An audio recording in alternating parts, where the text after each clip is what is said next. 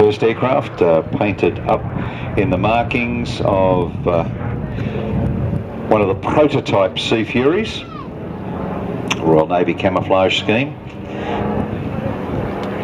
Is actually a Baghdad Fury built for the Iraqis.